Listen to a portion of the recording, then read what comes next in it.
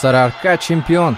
И это не просто кричалка местных болельщиков, это факт. За два тура до окончания регулярного чемпионата ВХЛ Карагандинский клуб сумел дожать неуступчивую Кубань из Краснодара. А вот Рубин, отстававший от лидера на 4 очка, уступил дома в овертайме Таросу и довольствовался одним баллом. Таким образом, за два тура до окончания регулярки разрыв между лидерами увеличился до 6 пунктов. А по регламенту ВХЛ, если по окончании последнего тура регулярного чемпионата по набранным очкам лидирует более одной команды, побеждает та, у которой больше побед в основное время время. По этому показателю карагандинцы опережают тюменцев на три победы. Сразу по окончании матча еще не было известно о проигрыше Рубина и, соответственно, о победе в регулярке. Задача, сейчас у нас задача поставили первое место занять. Мы все дружно хотим и выполнить эту задачу, стараемся. Осталось пару игр в регулярке.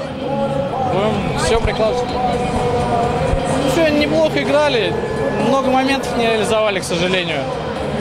Ну, такая хорошая, интересная игра, думаю, получилась. Надеюсь, болельщикам понравилось. На послематчевой пресс-конференции оба тренера довольно сдержанно поделились мнениями о матче, поблагодарили друг друга, прессу и разошлись. А тренер Сарарки Михаил Пикалов, видимо, держал в уме заканчивающуюся встречу Рубина и Тароса. Здорово сыграл Денис Францкевич, вратарь наш, выручил, конечно, в третьем периоде. Но ни в коем случае никто не бережет, все выходят и бьются до конца. Ну, нам где-то не повезло, маленькое завершение. Как бы.